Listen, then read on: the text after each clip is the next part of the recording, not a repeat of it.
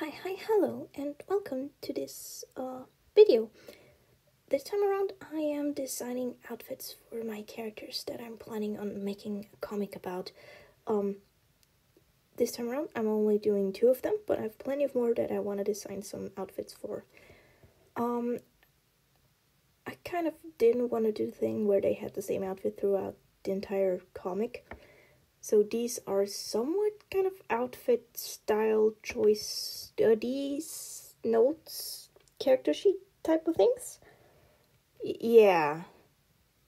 So basically, to start off, I want to start off with my one character that is kind of one of the main characters, Mike. Um, I would describe his style as bit casual, having a bit of like skater influences, maybe even a little bit of surfer boy. However, um, he cannot skate. Like, um, eventually you see me drawing um, a sketch where he's trying to balance. Yeah, imagine he's standing like that on a skateboard. Now, I'm not great at skating, but I for sure know you're not supposed to stand like that on a skateboard. It's like basically two seconds before disaster. So yeah, that is Mike. Um, what else about him? He's kind of a little bit like golden retriever type of guy. He's kind of upbeat,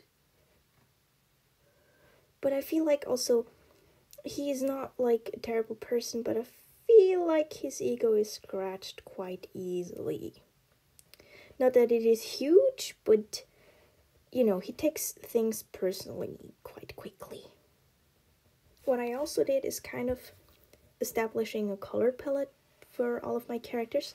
That is also kind of one of the main reasons for the Pinterest boards, but also for like just style inspiration, common silhouettes, and stuff like that. So for him, definitely a lot of this tealish blues, um, but also some browns and obviously like neutrals like gray, black jeans, stuff like that. I feel like the teal kind of definitely suits his hair, and then I also started adding some greens and light blues because to be honest, even if you have a color palette going on in your closet, I don't feel like it's all the exact same shade. Like even if it's fucking black. Like it's it's yeah. So for um realism's sake, I didn't make all of the things the same hue. Also, I kind of felt like drawing him in a formal outfit, so that's why the prom outfit is there. I don't even know if I'll include a prom anywhere in the comic. I just felt like drawing him in it. I I don't know.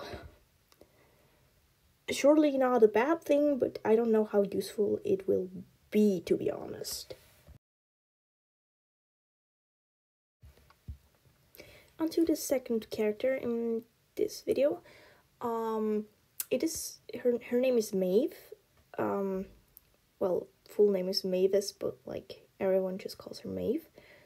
She basically is inspired by a magpie, so that's why there's a lot of whites and blacks. And I wanted to add a little bit of pop of color, so that's why um, her eyes are bright orange and maybe in some outfits I plan on including little dashes of bright orange. For her style, I kind of wanted her to have like two little sub styles. Um, one being a bit more like biker inspired, and one being a little bit more casual and street style inspired. Um,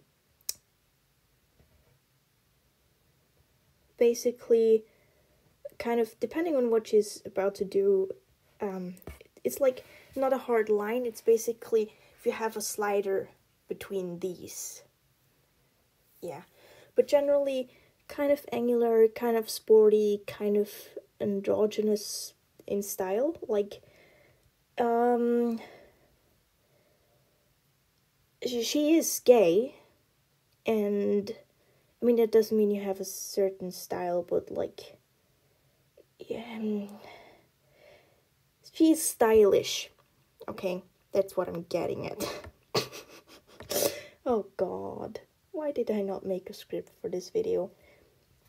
Anyways, Maeve's style kind of should also bring her personality across a little bit. She's kind of a little bit mean, a little bit bossy, but mainly she's protective over her girlfriend Vinny.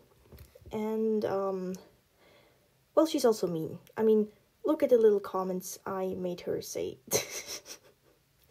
well, I think mean is a bit said too much. She's definitely very direct and lowkey kind of rude. But it's just her way that doesn't mean she dislikes you. She dislikes a lot of people though. Like, yeah. I mean, I guess if you want me to, I could make like a video with a diagram of group dynamics.